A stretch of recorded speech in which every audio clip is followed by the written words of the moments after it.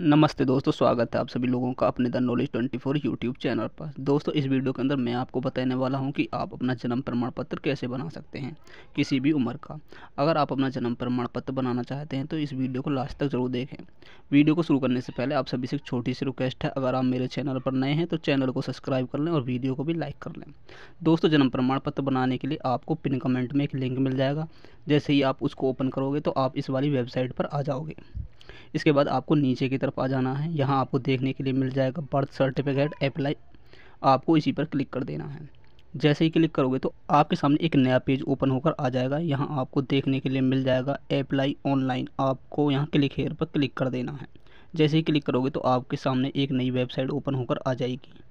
यहाँ सबसे पहले आपको एक लॉगिन आईडी बनानी होगी। अगर आप अपनी लॉगिन आईडी बनाना चाहते हैं तो मैंने इस पर एक वीडियो बना रखी है। आप उसको जाकर देख सकते हैं। पिन कमेंट में आपको उसका लिंक मिल जाएगा। और अपनी यूज़र आईडी और पासवर्ड बना सकते हैं। जब आपकी यूज़र आईडी और पासवर्ड बन जाएगा तो आपको होम पेज पर आ जाना है। यहाँ आपको अपना मोबाइल नंबर या जीमेल आईडी डालनी है और इस कैप्चे को भरकर लॉगिन पर क्लिक कर देना है। जैसे ही क्लिक करोगे तो आपके सामने एक नया पेज ओपन हो जाएगा। यहाँ आपको बहुत से ऑप्शन देखने के लिए मिल जाएँगे। इन्हीं में आपको देखने के लिए मिल जाएगा बर्थ आपको इस पर टैप करना है। जैसे ही टैप करोगे तो आपके सामने कुछ ऑप्शन ओपन होकर आएँगे। इनमें आपको देखने के मिल जाएगा रिपोर्ट बर्थ आपको इसी पर क्लिक कर देना है। जैसे ही क्लिक करोगे तो तो आपको यहाँ अप्लाई करने के लिए आ जाएगा। सबसे पहले आपको यहाँ अपना स्टेट सेलेक्ट करना है और यहाँ आपको अपने दो भाषा सेलेक्ट कर लेनी है। यहाँ आप इंग्लिश सेलेक्ट कर सकते हैं और यहाँ हिंदी भी सेलेक्ट कर सकते हैं। आप भी इसी तरह अपनी भाषा सेलेक्ट कर सकते हैं। यहाँ आपको रिपोर्ट की डेट देखने के लिए मिल जाएगी। इसके बाद आपको इस कैलेंडर से अपनी डेट ऑफ़ बर्थ फिल कर लेनी है और आपको उस डेट ऑफ़ बर्थ को कंफर्म भी कर लेना है। इसके बाद यहाँ आपको जन्म का टाइम बताना है और यहाँ आपको अपना जेंडर भी सिलेक्ट कर लेना है। यहाँ आपको अपना आधार कार्ड नंबर फिल करना है। अगर आपके पास आधार कार्ड का एलोरमेंट नंबर है तो आप उसको भी यहाँ फिल कर सकते हैं। अगर आप बच्चे का जन्म प्रमाण पत्र बना रहे हैं और उसका नाम नाम नहीं रखा हुआ है तो आप इस बॉक्स पर क्लिक करेंगे और अगर बच्चे का नाम रख गया है या आप अपना जन्म प्रमाण पत्र बना रहे हैं तो तो आपको अपना यहाँ फ़र्स्ट नेम फिल कर लेना है। और अगर आपका कोई मिडिल नेम है तो आप उसको यहाँ फिल कर सकते हैं और यहाँ आपको अपना लास्ट नेम भी फिल कर लेना है। यहाँ आपको अपने नाम को कन्फर्म कर देना है। इसके बाद यहाँ आपको अपने पिता की डिटेल फिल करनी होगी। यहाँ आपको अपने पिता का फ़र्स्ट नेम फिल करना है और यहाँ आपको उनका मिडिल नेम फिल कर लेना है। और यहाँ उनका लास्ट नेम भी फिल कर लेना है। यहाँ आपको अपना, उनका एक मोबाइल नंबर देना है और यहाँ आपको उनकी एक जीमेल आईडी भी फिल कर देनी है और यहाँ आपको उनका आधार कार्ड नंबर भी फिल कर देना है। इसके बाद यहाँ आपको अपने माता की डिटेल देनी होंगी। यहाँ आपको उनका फ़र्स्ट नेम फिल करना है। अगर उनका कोई मिडिल नेम है तो आप उसको यहाँ फिल कर सकते हैं और आपको यहाँ उनका लास्ट नेम भी फिल कर देना है। अगर उनके पास कोई मोबाइल नंबर है तो आप उसको यहाँ फिल कर सकते हैं। अगर नहीं है तो आप इसको ऐसे ही छोड़ सकते हैं। यहाँ आपको उनकी जी मेल देनी होगी। अगर नहीं है तो आप इसको भी छोड़ सकते हैं।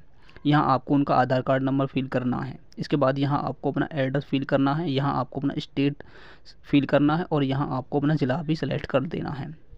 यहाँ आपको अपनी तहसील सेलेक्ट करनी है और यहाँ आपको बताना है कि आप गाँव से हैं या सिटी से हैं और यहाँ आपको अपना गाँव सेलेक्ट कर लेना है। यहाँ आपको अपना पिन कोड फिल करना है और यहाँ आपको अपना मकान नंबर भी फिल कर देना है। इसके बाद यहाँ आपको अपनी गली या सड़क का नाम फिल करना है या गली नंबर फिल कर देना है। अगर आपको पता नहीं है तो आप इसको छोड़ सकते हैं। इसके बाद यहाँ आपको अपना पोस्ट ऑफ़िस फिल करना है। अगर आपका परमानेंट एड्रेस सेम है तो आप यस पर क्लिक कर देंगे।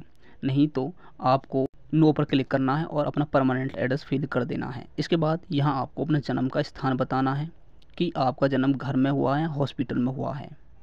वह आप अपने हिसाब से सिलेक्ट कर सकते हैं। इसके बाद अगर आपके जन्म का एड्रेस, जो ऊपर एड्रेस दिया है, वही है तो आपको इस बॉक्स पर क्लिक करना होगा। अगर किसी और एड्रेस पर हुआ है तो आपको नीचे उस एड्रेस को फिल कर सकते हैं। इसके बाद आपको सेव एंड ड्रॉप पर क्लिक कर देना है। आपकी सारी डिटेल सेव हो जाएँगी, फिर आपको नेक्स्ट पर क्लिक कर देना है। इसके बाद आपको इस बॉक्स पर टिक करना है। अगर आपका पता सेम है तो आपका जो एड्रेस है, वह यहाँ आ जाएगा। इसके बाद यहाँ आपको अपने पिता की इन्फॉर्मेशन देनी है। यहाँ आपको उनका रिलीजन बताना है और यहाँ आपको उनकी क्वालिफिकेशन बतानी है। यहाँ आपको उनका व्यवसाय बताना है कि वह क्या करते हैं। वह आप यहाँ से सेलेक्ट कर सकते हैं। इसके बाद यहाँ आपको अपनी माता की इन्फॉर्मेशन देनी है। यहाँ आपको उनका रिलीजन बताना है और यहाँ आपको उनकी क्वालिफिकेशन बतानी है। और यहाँ आपको उनका व्यवसाय भी बताना है। यहाँ आपको बताना है कि शादी से पहले आपकी माता की आयु कितनी थी। वह आप यहाँ फील कर देंगे। यहाँ आपको बताना है कि आपके जन्म के समय आपकी माता की आयु कितनी थी। वह आप यहाँ फील कर देंगे। यहाँ आपको बताना है कि आपकी माता के कितने बच्चे हैं। यहाँ आपको यह फील कर सकते हैं। यहाँ आपको बताना है कि बच्चा कहाँ हुआ है। वह आप यहाँ बता सकते हैं। यहाँ आपको बताना है कि डिलीवरी कैसी हुई है नॉर्मल है तो आप यहाँ सेलेक्ट कर सकते हैं। यहाँ आपको बताना है कि जन्म के समय, बच्चे का वज़न कितना था, वह आप यहाँ फील कर सकते हैं। इसके बाद यहाँ आपको ड्यूरेशन ऑफ़ प्रेगनेंसी यहाँ आप यहाँ आप वीक में फील कर सकते इसके बाद यहाँ आपको कुछ डॉक्यूमेंट अपलोड करने होंगे। यहाँ आपको अपने एड्रेस प्रूफ के लिए इनमें से कोई डॉक्यूमेंट दे सकते हैं। इसके बाद यहाँ आपको एडिशनल डॉक्यूमेंट अपलोड करना होगा। इनमें से आप कोई भी एक डॉक्यूमेंट दे सकते हैं। यहाँ आपको, यहाँ आप अपना पैन कार्ड भी दे सकते हैं। इसके बाद आपको ऑर्डर अपलोड करना होगा। यह ऑर्डर बनवाना कैसे? आपको अपनी तहसील में जाना है और यहाँ वहाँ से जन्म प्रमाण पत्र के लिए एफिडेविट बनवा लेना है। और यहाँ उसको अपलोड कर देना है। सारे डॉक्यूमेंट अपलोड करने के बाद आपको सेव एंड ड्राफ्ट कर देना है, आपकी सारी डिटेल सेव हो जाएँगी, फिर आपको नेक्स्ट कर देना है। इसके बाद आपके सामने प्रिव्यू आ जाएगा, आपको उसको अच्छे से चेक कर लेना है। अगर उसमें कोई गलती है तो आप बैक आकर उसको सुधार सकते नहीं तो आपको नेक्स्ट पर क्लिक कर देना है। इसके बाद आपके सामने आपका फाइनल प्रिव्यू आ जाएगा, उसको आप चेक कर लेंगे अच्छे से और आपको नीचे की तरफ़ आ जाना है। और यहाँ आपको बताना है कि आपको जन्म पत्र कौन सी जन्म प्रमाण पत्र कौन सी भाषा में चाहिए? तो आप यहाँ अगर हिंदी में चाहिए तो हिंदी सेलेक्ट करेंगे, अगर इंग्लिश में चाहिए तो इंग्लिश सेलेक्ट करेंगे, और अगर आपको दोनों में चाहिए तो आप बोथ सेलेक्ट कर लेंगे। इसके बाद आपको इस बॉक्स पर क्लिक कर देना है और सबमिट कर देना है। इसके बाद आपको फ़ी पे करनी होगी तो आपको प्रोसीड टू पेमेंट पर क्लिक कर देना है। आपको, आप यहाँ से किसी भी पेमेंट मेथड से पे कर सकते हैं।